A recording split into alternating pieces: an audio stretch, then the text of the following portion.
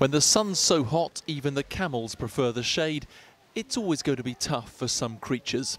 Luckily, the penguins at London Zoo are originally from South America and are no strangers to sunlight, or, more recently, the spotlight.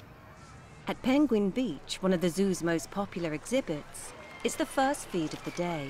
They're some of the stars of a fly on the wall documentary about the zoo on ITV tonight. And like any on screen talent, they have the odd tantrum.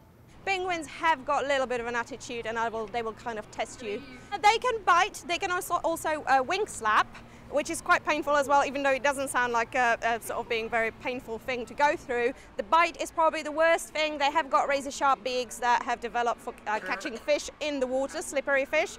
So you can imagine what happens when they bite you. but that doesn't stop them drawing the crowds. There's no doubting that penguins have a big appeal on the small screen. They're not the biggest attraction here at London Zoo. Both at the zoo and in the documentary, they're up against two endangered Sumatran tigers housed in the new £4 million enclosure.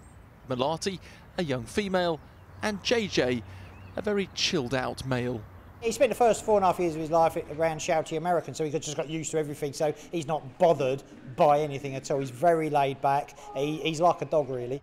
Behind the scenes documentary footage shows the nervous moments before the grand opening. The Tigers refused to perform for the cameras until Paul struck up a cunning plan.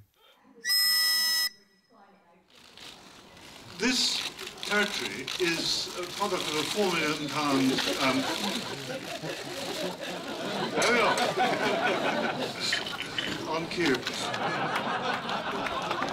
Of course, there's far more to the documentary and the zoo than just penguins and tigers.